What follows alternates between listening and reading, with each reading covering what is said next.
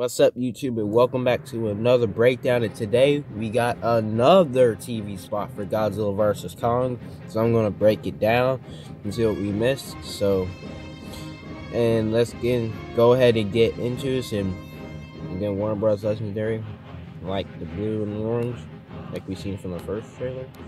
And uh, when we seen this, we seen that, and look at this right here the shot of Godzilla going to the, going to the ship where Kong is at, going to flip it over.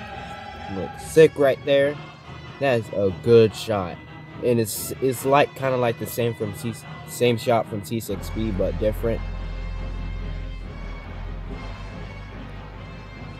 I mean that shot is amazing, and it flips over the aircraft carrier, and we got and there is some there are some people inside they're, getting flipped over. And is he, if, if you can see in the background, that's kind of a, that's Kong's hand right here. I honestly caught that. That's Kong's hand right there. If y'all didn't caught that in the TV spot, TV spot. If y'all didn't caught that in the TV spot. And, um, and going to the walk the, into the water. And Kong roaring. Seen this a million times an extended clip of the fighter jet shooting at Godzilla.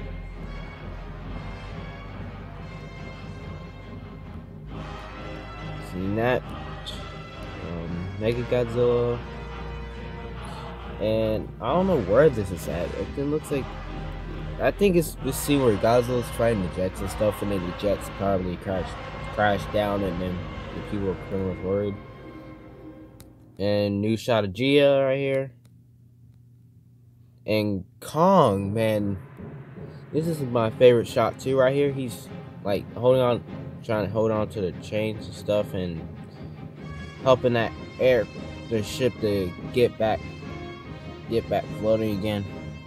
Um, and if I was wondering, is he using the his chain or is he using the chain that was on the boat? Honestly, I don't know we'll see in the movie.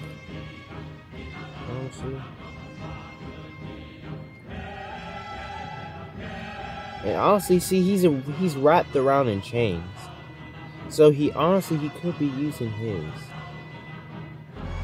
and grapple the boat and then helping the boat to get back on to, on top of the water.